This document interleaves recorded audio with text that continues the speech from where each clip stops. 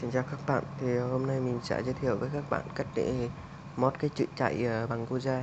Đây các bạn có thể nhìn ờ, ở màn hình bên bên phải của mình đấy, ở bên trên cái chữ Bitcoin. Thì ờ, mình mod bằng Goja thì nó sẽ đỡ tốn pin hơn là mod bằng bằng icon ảnh. Bằng icon ảnh thì nó sẽ kích thước nó sẽ nặng hơn đầu tiên thì ờ, các bạn tải cái ờ, tải cái tút ở phía dưới về.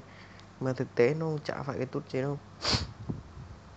À, các bạn tạo cho mình một cái bộ ờ, một cái bộ icon chạy. Ấy. đây mở cái layout ra các bạn chọn cái cc này. Các bạn mở bằng hệ thống nó dễ chỉnh sửa mở vô tay cho nó dễ chỉnh sửa hơn.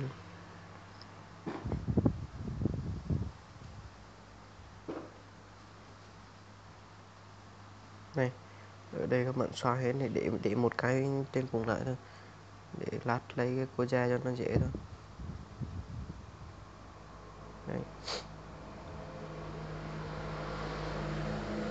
thì uh, bây giờ ví dụ như mình mình làm chữ chạy bằng chữ bi còi nhé thì đầu tiên mình viết chữ bi chữ b thì à, mình làm theo kiểu kiểu chạy đơn giản thôi.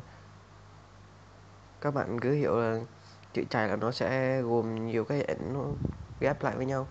Đấy, ví dụ giờ mình viết chữ B rồi tiếp theo chữ BI thì cái đầu tiên là chữ B B trong cái thứ hai cái ờ, hình thứ hai nó sẽ ra chữ Y vậy.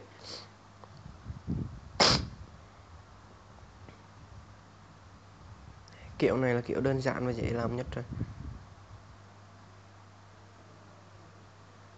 Em chữ bị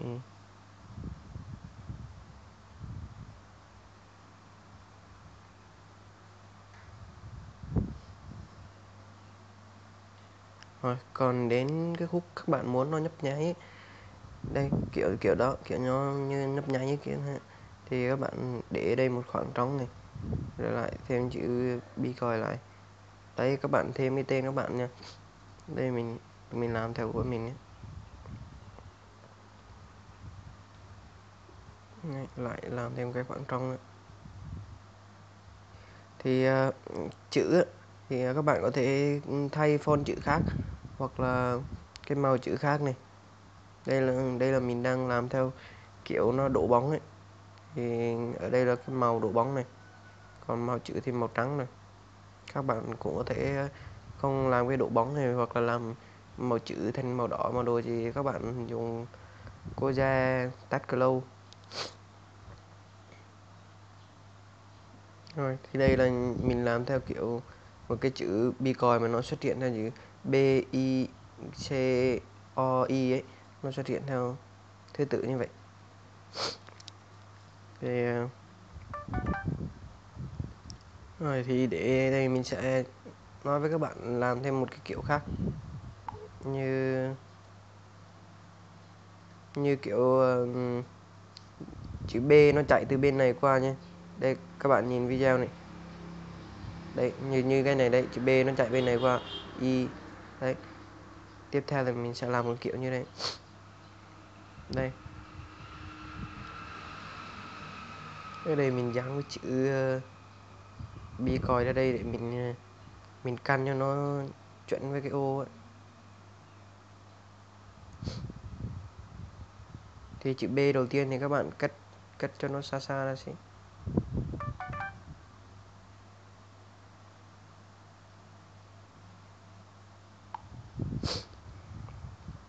Đây. Rồi thì chữ B tiếp theo thì cho nó gần lại hơn một xí so với cái ban đầu ấy. Đấy. Cho nó nữa. Rồi.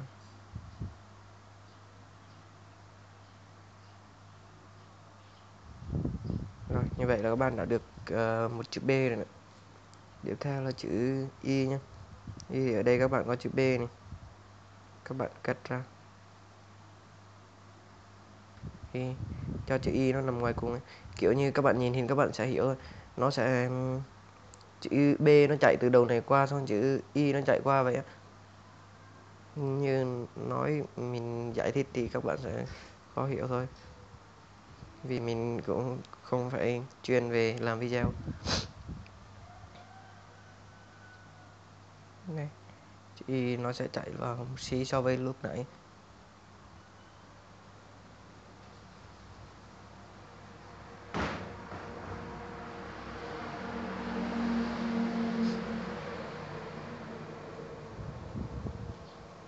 Đây nó rồi tiếp theo đến chữ C, làm quay này thì nó hơi dài hơn một xí.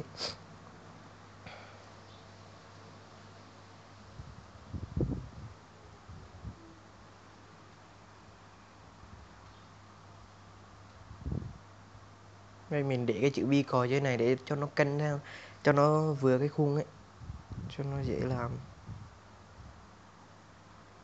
còn lát lại làm chữ này kia chữ khác khác. Nó bị lệch lại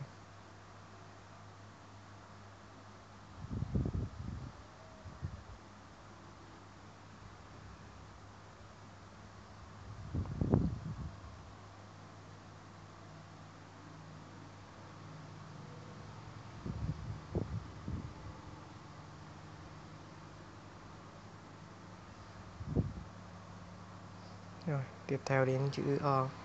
Thì càng gần thì nó sẽ càng ít icon lại nó càng ít chữ lại nó cắt cắt.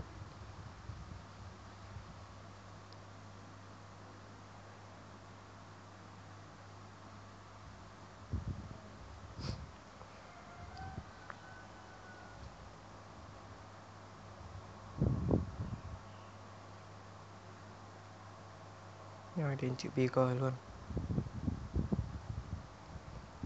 Đây, cái khúc này là các bạn nhìn, các bạn nhìn với cái hình ở bên phải của mình này. Cái khúc mình mới làm cái chữ bigger đó. Nó như thế này này. Nó chạy chạy chạy theo chạy bên này qua đấy. Xong rồi giờ nếu, giờ mình làm nhấp nháy này. Đây. xóa đi khoảng trống này. Để cho nó lại chữ bitcoin này. Thay loại khoảng trống này. Đây thì à, nó sẽ nhấp nháy như như cái hình, như cái hồi nãy đấy rồi giờ tiếp theo thì ờ, tiếp theo thì mình sẽ làm theo cái kiểu cho nó chạy từ dưới này lên. Ở đây đây. Mình sẽ làm cái kiểu như vậy nha.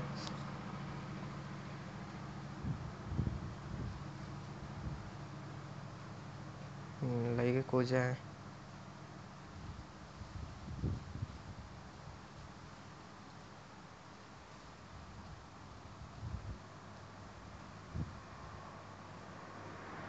đây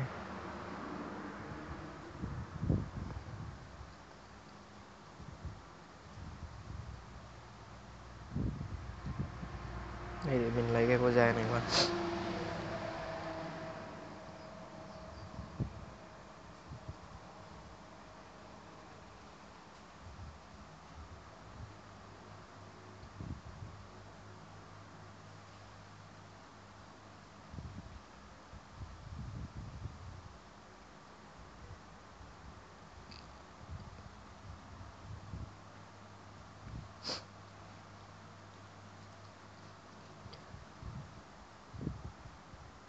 thì ở đây mình làm mình làm với cái ờ, khung của mình là ở đây cái khung này nó cao 20 dip nên mình mình sẽ nói với các bạn.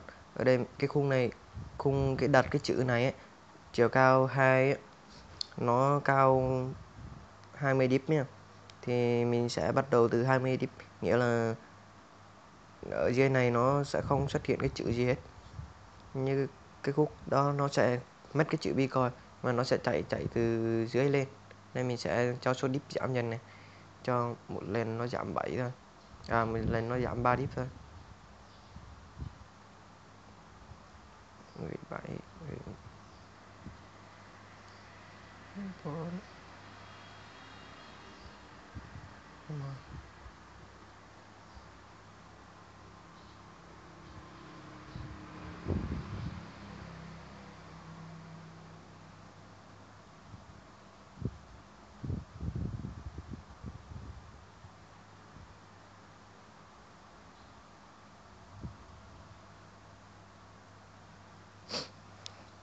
nó ngang ở cái chỗ mà không dip này ấy thì nó sẽ dừng. Đấy nó nó dừng ở chính giữa luôn. À, tiếp theo thì mình sẽ làm cho nó này các bạn nhìn đây đó nó chạy lên. Đấy tiếp theo mình sẽ làm cho nó theo kiểu nó cuốn lên và nó mất nha.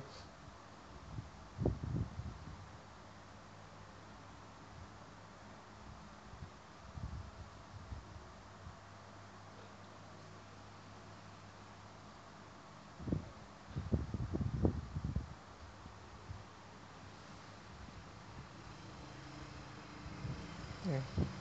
à còn cái còn à, mà cái cô ra Android layout margin top này hoặc là margin bottom này thì các bạn có thể vào à, vào status 3 của các bạn các bạn lấy đại một cái nào đó xong các bạn chỉnh sửa cái số div lại thôi. Ví dụ như đây mình vào status 3 này mình tìm margin top này mình sẽ tìm gì top. Đây à, ví dụ mình vào status 3 mình tìm cái này và mình sẽ copy nó ra và và sửa số div lại thôi.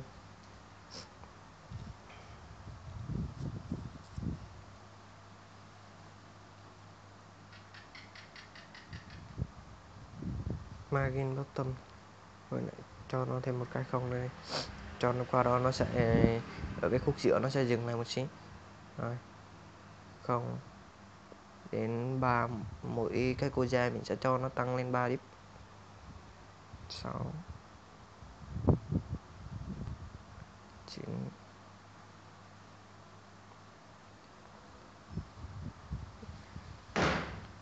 15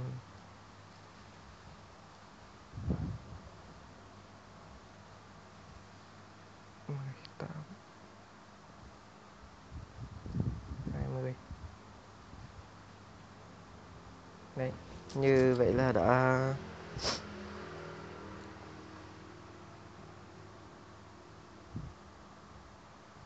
tiếp theo làm cho nó thêm nháy nháy. Làm xong khúc nó cuốn lên thì nó nháy nháy thêm một cái nữa.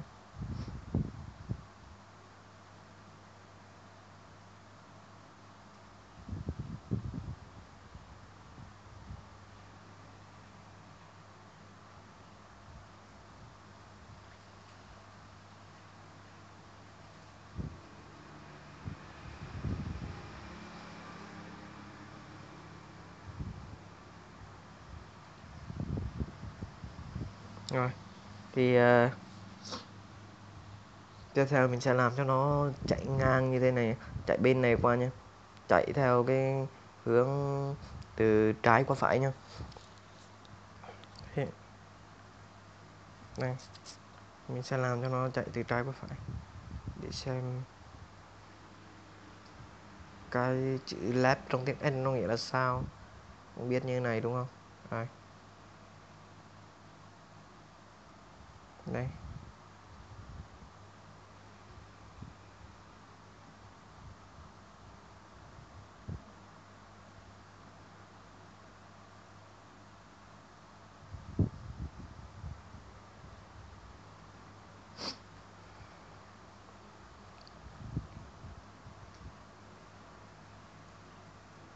Rồi ban đầu là nó ở cái góc nha qua bên trái chắc nó sẽ nó chạy theo qua bên trái bên trái chắc nó sẽ nhiều ấy. Nên mình sẽ cho lần 5 deep luôn. Trong mỗi, mỗi lần chạy nó chạy lên 5 deep. Vì chạy qua bên trái này các bạn nhìn các bạn sẽ biết thôi. Như nếu mà cái hình so từ dưới lên thì nó sẽ được 20 deep. Còn như ở bên này qua chắc nó phải tầm 60 deep đấy. Mình mình đoán vậy á. Có nghĩa là số deep mình áng vậy còn nếu làm không hết thì nó sẽ nó sẽ dư cái phần à, nó không đẹp thôi.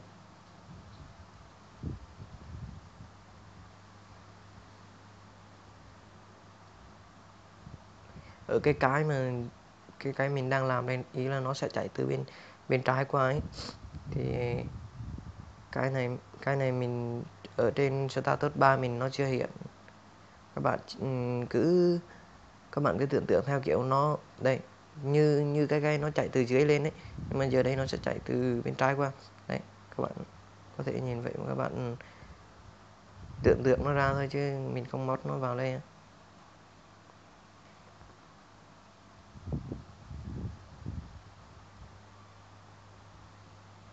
Mình sẽ làm cho nó đến 60 nhưng không biết đến 60 nó đã đủ chưa?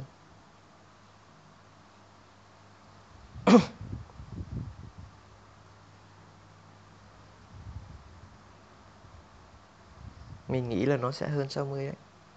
Nhưng mà kệ, làm 60 nếu mà nếu mà lát mà ra nó vẫn chưa đủ thì các bạn có thể vào thêm sau. Cái này chả sao ạ.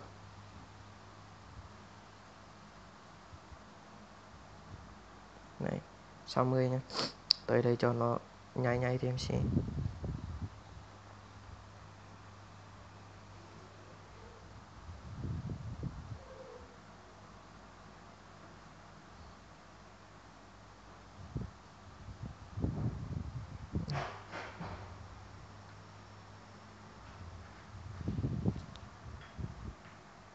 Thôi.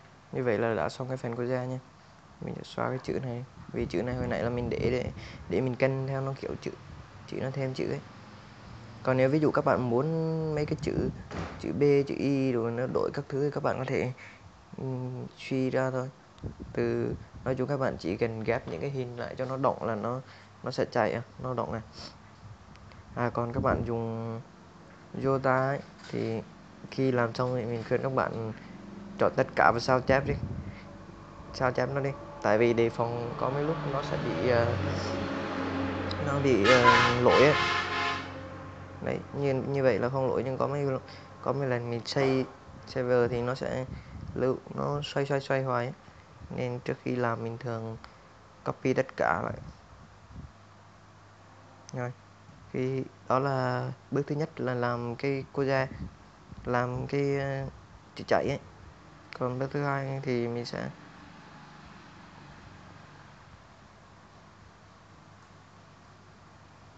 đây các bạn sao chép cái lightweight này vào. Đây sao, sao chép vào lightweight? Chỉ sao chép cái ờ, uh, Z1 này thôi nhé vì Z2 là mình làm của mình rồi